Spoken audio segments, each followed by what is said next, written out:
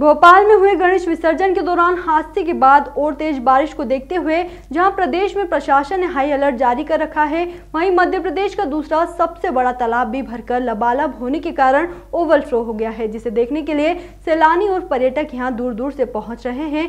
ऐसे में भोपाल जैसी हादसे की पुनरावृत्ति न हो, इसलिए यहाँ भी सुरक्षा के खास इंतज़ाम किए गए हैं। देपालपुर के बनेडिया में स्थित क्षेत्रफल की दृष्टि से प्रदेश का सबसे बड़ा दूसरा तालाब है। सुरक्षा की दृष्टि से सुना था, क्योंकि यहाँ बड़ी संख्या में सैलानी तो पहुँच रहे थे, लेकिन सुरक्षा के कोई पुख्ता इंतज़ाम नहीं थे। इस खबर को दिखाने के बाद शनिवार को स्थानीय प्रशासन हरकत में आया। वह सुबह से ही एक अधिकारी व एक जवान की ड्यूटी लगाई, जो लोग बिना सुरक्षा कर्मी के मटर गश्ती कर ओवरफ्लो पानी वाली जगह से निकल रहे थे व सेल्फी ले रहे थे। आज वे सब नदारत थे।